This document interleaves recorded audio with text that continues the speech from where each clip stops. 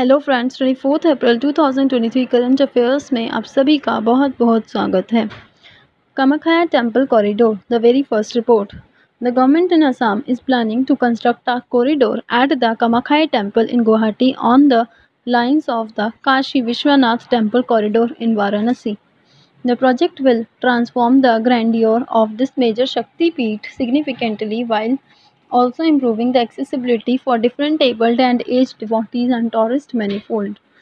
Kamakhya temple is located on Nilachal Hill in Guwahati, Assam. It is considered one of the oldest and sacred places of worship. Millions of pilgrims and tourists visit the temple every year, especially during the Ambubachi Mela held in June every year. Ambubachi Mela is a four day fair to mark the annual menstrua- menstruation of the goddess. One of 51 Shakti Peeths or seat of Shakti followers, each representing a body part of Sati, Lord Shiva's companion. The temple sanctum sanctorum houses the yoni female genital symbolized by a rock. The attainment of womanhood of girls in Assam is celebrated with a ritual called Tuloni Bia meaning small wedding, the counterpiece of Tantric Shaktism cult in India. The main temple is surrounded by individual temples dedicated to the ten Mahavidyas Kali, Tara, Shadashi, Bhuvaneshwari, Bhairavi, Chinnamasta, Dhumavati, Pegalmukhi, Matangi, and Kamalmatika. PSLV C55 mission, the very next report. Indian Space Research Organization is scheduled to launch the Polar Satellite Launch Vehicle C55 PSLV C55 mission with Singapore's TeLEOS 2 as primary satellite and Lumelite 4 as a co-passenger satellite. PSLV C5 C55 mission has the PSLV orbital experimental module where the spent PS4 of the launch vehicle would be utilized as an orbital platform to carry out scientific experiments through non separating payloads. This is the third time that PS4 will be used after satellite separation as a platform for experiments. TeLEOS 2 satellite. Primary satellite support the satellite imagery requirements of various agencies within the government of Singapore carries a synthetic aperture radar payload providing all weather day and night coverage and be capable of imaging at 1 meter fully polarimetric resolution. Lumelite 4 satellite A co-passenger, a co-passenger satellite an advanced 12U satellite developed for the technological demonstration of the high performance space-borne VHF data exchange system. It aims to augment Singapore's navigation, maritime safety, and benefit the global shipping community. Polar Satellite Launch Vehicle.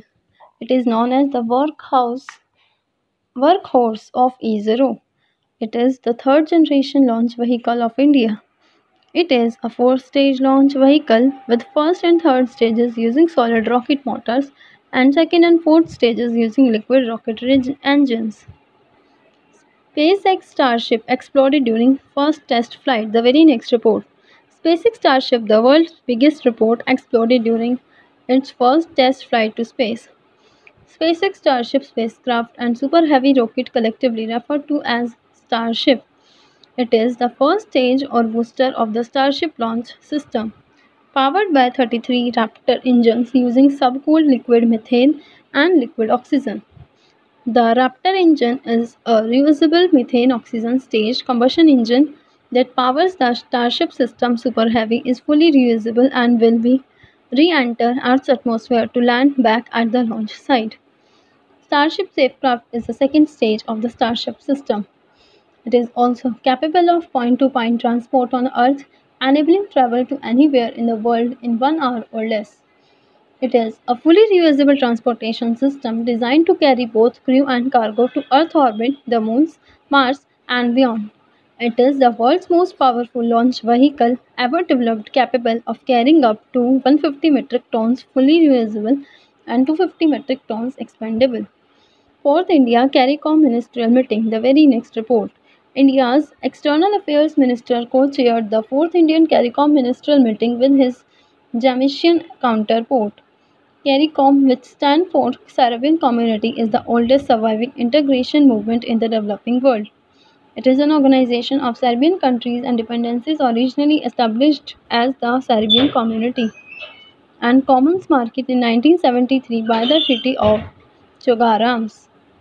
Main purpose is to promote economic integration and cooperation among its members. To ensure that the benefits of integration are equitably shared, the to coordinate foreign policy. It has 15 members Antigua and Bar- Barbuda, Barbuda, the Bahamas, the Barbados, Belize, Dominica, Grenada, the Guyana, Haiti, Jamaica, Montserrat, St. Kitts and Nevis, St. Lucia, St. Vincent and Grenadines, Suriname, and Trinidad and Tobago. Anguilla, Bermuda, the British Virgin Islands, the Caymans Islands, and Turks and Caicos Islands have associate member status, and Aruba, Colombia, the Dominican Republic, Mexico, Puerto Rico, and Venezuela maintain observer status. The chairmanship of the community is rotated every six months among the member countries' heads. The CARICOM Secretariat in Georgetown, Guyana is the principal administrative organ of the community and is headed by a Secretary General who is the Chief Executive Officer of the community. In 2007, CARICOM officially inaugurated the Caribbean Court of Justice, which serves as the final court of appeal for CARICOM members and also handles regional trade disputes. Pradhan Mantri Urja Ganga project, the very next report. Prime Minister praised the completion of Bihar portion of Barauni Guwahati pipeline under Pradhan Mantri Urja Ganga project. The project is also known as Jagdishpur, Haldia and Bokaro Dhamra pipeline project it was launched in 2016 and will cater to the energy requirements of five states namely Uttar Pradesh, Bihar, Jharkhand, Odisha and West Bengal. This pipeline will connect six districts in Bihar to the national gas grid. The project will provide accessing to the clean natural gas for industries, CNG for vehicles and PNG for homes promoting a sustainable lifestyle. Total length of pipeline under Pradhan Mantri Urja Ganga project is 3384 km out of which 766 km of pipeline is in Odisha state and the balance of 2618 km is in states of Uttar Pradesh, Bihar, Jharkhand, West Bengal and Assam. The seven main station cities include Varanasi, Patna, Bokaro, Jamshedpur, Kolkata, Ranchi, Bhubaneswar, Cuttack and major beneficiaries of the project. The project is being implemented by a GAIL. Ballistic Missile Interceptor, the very next report. The DRDO and Indian Navy successfully conducted a maiden flight trial of sea-based endo-atmospheric interceptor missile off the coast of Odisha. India entered an elite club of nations with the capability to fire a ballistic missile defense interceptor from a naval platform. Prior to this, DRDO has successfully demonstrated